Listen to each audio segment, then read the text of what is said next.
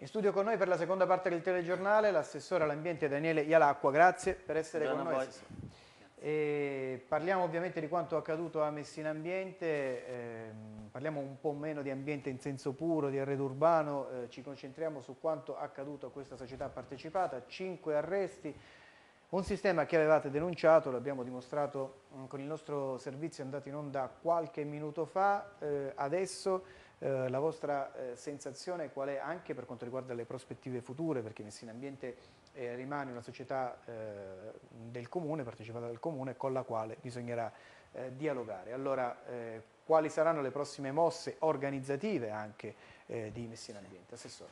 Sì, intanto vi ringrazio per il servizio che avete mandato in onda, il servizio diciamo, relativo allo scorso anno quando ah, abbiamo denunciato tutta la situazione che avevamo visto eh, guardando bilanci e sistemi organizzativi di Messina Ambiente, perché uno dei vizi di questa città è avere la memoria troppo corta, c'è la memoria troppo corta anche la città in generale, il mondo della politica, direi anche il mondo dell'informazione. E invece bisogna ricordare i percorsi che si sono fatti, chi si è speso per questa città in maniera corretta, pulita e ha cercato di mettere in atto politiche appunto per far uscire questa città, perché non c'è qua da gioire se vi sono tante inchieste, c'è da essere soddisfatti che finalmente ovviamente si interviene in maniera incisiva su tanti buchi neri della città, però è la città, l'immagine della città che ne, che ne, esce veramente distrutta. E allora insistere e sostenere chi ha fatto questo percorso di, di legalità e correttezza come stiamo cercando di fare noi, deve essere messo anche nelle condizioni di poterla fare. Su Messina Ambiente noi eh, ricordo semplicemente appunto il cambio della dirigenza, gli interventi fatti proprio in questi che sono i punti oggetto dell'indagine, cioè appunto eh, determinati tipi di appalti, modalità eh, di affidamento di gare senza, senza, osservare il codice ovviamente de, degli appalti, tutta una serie di cose che eh, Ciacci e Rossi e eh, voglio anche qui ricordare che sono stati massacrati da critiche di ogni tipo, sono proprio i dirigenti che invece le figure che hanno consentito di mettere ordine in questa macchina di messa in ambiente. Non abbiamo completato, e nel settore dei rifiuti, non abbiamo completato quest'opera come diceva lei il percorso che mh, abbiamo intenzione di fare è quello che abbiamo tracciato. Noi abbiamo sempre puntato fin dall'inizio a una nuova società, una società che potesse consentire di eh, ripartire da zero e di rilanciare un servizio che ovviamente è ancora insomma, in forte criticità. Lei ha messo giustamente i puntini su lei, diciamo così, mm, adesso però c'è un altro meccanismo da capire. Eh, mm, la eh, spazzatura costa ai messinesi anche per le ragioni di cui abbiamo sentito parlare, 44-45 milioni di euro, cifre importanti. L'ultima ehm, tassa approvata dal Consiglio Comunale viaggia comunque su queste cifre. Adesso che ehm, tanti costi sono stati tagliati, è ragionevole pensare che dal prossimo anno almeno le cose cambieranno e perché non sono cambiate già con questa tassa sulla spazzatura? Sì, ecco, io vorrei dire che questa inchiesta io credo, eh, ora vediamo qual è il suo percorso, ma sicuramente è solo un piccolo segmento di quello che c'è dietro la gestione dei rifiuti, non soltanto a Messina ma in Sicilia. Noi siamo costretti attualmente a conferire i nostri rifiuti a Catania, spendiamo tra gli 11 e i 12 milioni di euro in tutti questi anni nessuno ha pensato di, avere, di, dotare la città di un impianto, nessuno mai ha pensato quali potessero essere le, le, le, ricadute sulle tasche dei cittadini di un servizio di questo tipo perché negli anni passati ovviamente si allargava, si allargava il debito e i, i, rifiuti non venivano, la, la tassa sui rifiuti ovviamente non, ricadeva, eh, non copriva tutti i costi e quindi non ricadeva tutto sui cittadini. Da quando siamo arrivati noi per legge Ovviamente questo ha comportato, come si sa, la ben nota Tares, la necessità che, che, i cittadini coprissero tutti i costi, ecco che tutti ci si è accorti, cosa che noi sapevamo comunque da tempo, che, il, che la, la, modalità di gestione è una modalità uh, di gestione appunto che sperperava denaro pubblico Senta. e che non creava servizi. Per questo dico io, ora i, i, i passi sono importanti ovviamente eh, da fare, vediamo la magistratura cosa farà, saranno importanti pure i nostri, però io credo che la, la percorso abbiamo tracciato noi, e cioè nuova impiantistica, raccolta porta a porta, e poi magari se ho l'occasione dico una buona notizia su questo, e nuova società è la strada buona da seguire. Senta, ma ehm, voi avete portato in aula eh, un costo che era eh, quello sostanzialmente equivalente agli anni passati, anzi leggermente maggiorato, per il problema della discarica a Catania. Eh, dal punto di vista contabile non è cambiato niente fino a quando la magistratura non ci ha messo le mani, cioè non avete poi sconvolto più di tanto il meccanismo neanche con l'amministrazione Ciacci, visto che i costi sono rimasti quelli? No, no? In, realtà, in, realtà, non è così. Eh, Ciacci, come ha dimostrato nelle varie relazioni che ha presentato...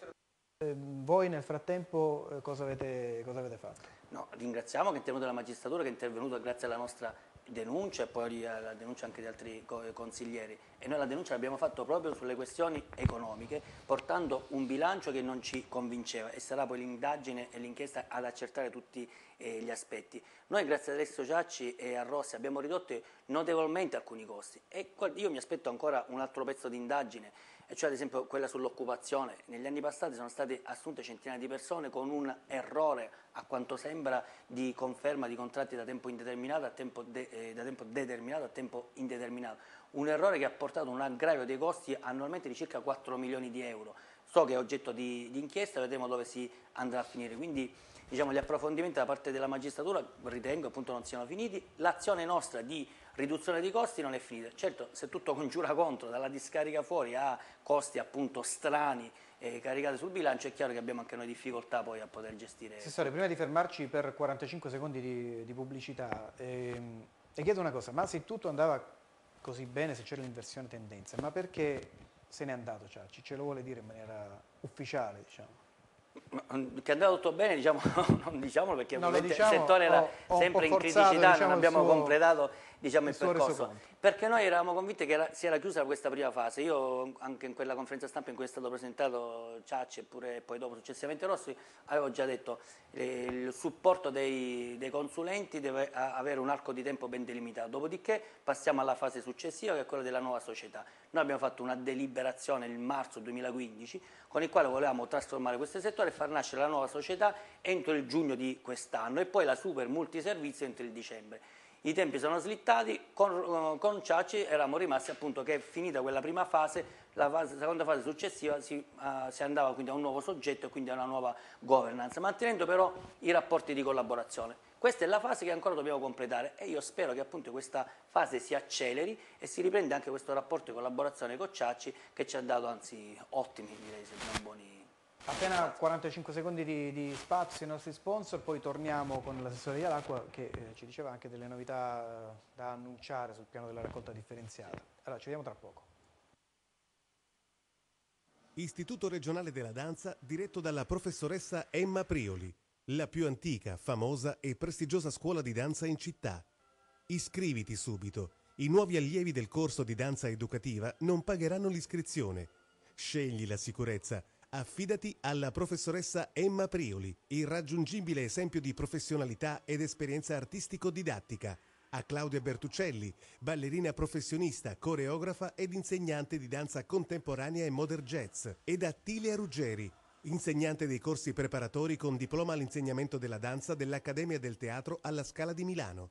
Ti aspettiamo negli ampi e confortevoli locali di via Industriale 32 Messina.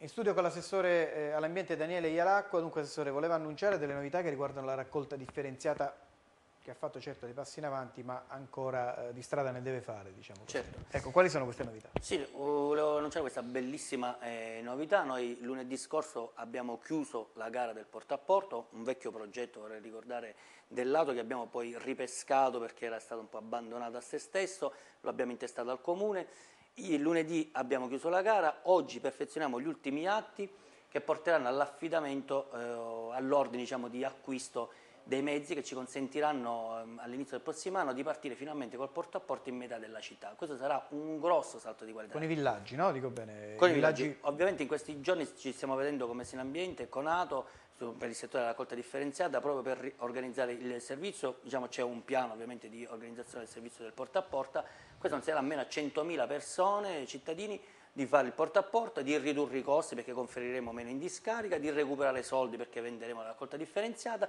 e finalmente di avere investimenti nuovi e finalmente ridurre questa maledetta tassa. Bene, cogliamo questo annuncio e insomma tempi abbastanza ristretti, no? Dunque per... Sì, siamo per fortuna obbligati dalla normativa eh, anche europea perché entro l'anno dobbiamo completare tutto l'iter e alla faccia anche di tanti gufi che abbiamo avuto in questo eh, periodo ehm, diciamo, la, la, fase più importante, quella della gara, l'abbiamo espletata, ora siamo insomma, nella fase finale. Torniamo a Messina Ambiente e a quanto accaduto. Eh, lei parlava poi mh, di questa fusione no, con, eh, con l'AMA, il progetto, quello grande e importante di questa multiservizi eh, dell'amministrazione dell a Corinti. Ecco, dopo quanto accaduto con la crisi idrica, l'AMAM ha mostrato un po' di debolezza. Ecco. Ritenete sempre che sia il soggetto sul quale far confluire tutto oppure è un po' da rivedere questo piano? Sì, io credo che proprio quello che è successo dimostra la giustezza della nostra scelta. Le partecipate sono purtroppo un buco nero di questa, di questa città, hanno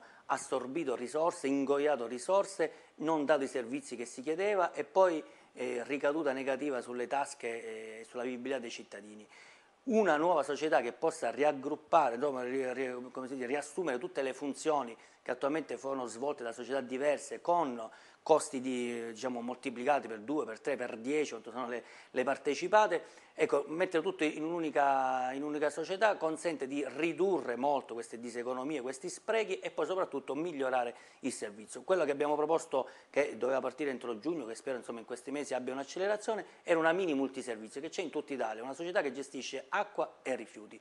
Questi fatti di questi giorni dimostrano la necessità e l'urgenza di fare questa nuova società, di ridare insomma, una nuova governance a, queste, a, questa nuova società e finalmente avere servizi degni di questo nome. Negli ultimi due minuti, ehm, per quanto riguarda l'impianto di pace, allora, parliamo della zona di pace, dove c'è una sorta di discarica sì. abusiva, non mi viene un termine più, più, adatto. Tecnicamente non è una discarica. Eh, infatti è una stazione di conferenza, però di fatto è una discarica, basta um, guardare le immagini e, ehm, e poi c'è questo impianto nuovo che dovrebbe essere realizzato. Ecco, lei sa bene che gli ambientalisti, eh, lei lo è anche, ma insomma una parte, gli ambientalisti insomma, ce l'ha con lei per, questa, per queste ragioni, no? Cioè eh, l'impianto lì non si può fare, uno, quello che c'è è di fatto una discarica.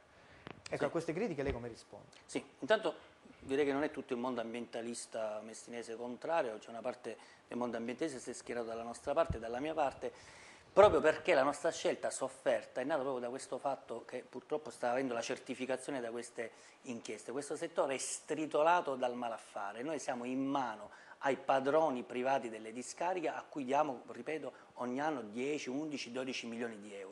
Allora, se volessimo continuare su questa strada, continuiamo e raccogliamo i frutti amari che stiamo raccogliendo in questo periodo. Se volessimo cambiare strada, allora bisogna porsi il problema, gli impianti devono essere fatti e devono essere fatti in città. Noi abbiamo, per così dire, sfruttato un progetto che era in corso, ovviamente cercando e richiedendo tutte le autorizzazioni del caso, che c'erano, ora sembrerebbe appunto che questo uh, procedimento abbia avuto eh, uno stop, ma l'obiettivo era semplicemente quello di rendere autonoma questa città finalmente una volta per tutte, ridurre i costi e far sì poi che tutti i rifiuti non finissero in discarica come ora. Noi siamo una controtendenza, controtendenza enorme a livello nazionale, I, oltre quasi il 90% dei rifiuti non li portiamo in discarica, la media nazionale è del 42% la, in Germania va a finire in discarica il 5%, quindi noi siamo invece al 90%, non si può continuare. E allora avere un impianto qui e parallelamente avere un porta a porta, una raccolta differenziata a spinta ci permette di ridurre il conferimento in discarica e ripeto poi non è una discarica tradizionale, c'è un impianto di biostabilizzazione, trattamento percolato, vari impiantissimi che noi qua ce la siamo sempre sognata. Ecco, questo impianto ci, ci, sarà, ci sarà assessore quando ci sarà? Questo impianto ci sarà? Ora, questo impianto diciamo, ha subito uno stop e la Regione sta seguendo il, la procedura per vedere se è sbloccabile o meno e ovviamente io l'ho sempre detto, se ci sono motivi di carattere appunto normativo legale che impediscono ovviamente la costruzione di questo impianto, noi ovviamente è chiaro che ci fermiamo. Però a pace non vorrei che si facesse confusione con un altro impianto che c'è già, che è pronto, che è per la pulizia della raccolta differenziata Stiamo avviando le procedure finalmente per affidare l'ingezione, questo ci consentirà di fare un altro salto avanti, un impianto che ha costruito l'ATO con finanziamenti europei, che ci consentirà di fare un ulteriore salto di qualità e poi la via secondo noi è quella anche della, del compostaggio e gli impianti di digestione anaerobica che la Regione tarda insomma, a finanziare e ad avviare e anche quella è un'altra via uh, possibile. Grazie all'assessore Daniele Ialacqua per la sua presenza qui oggi. Grazie a voi.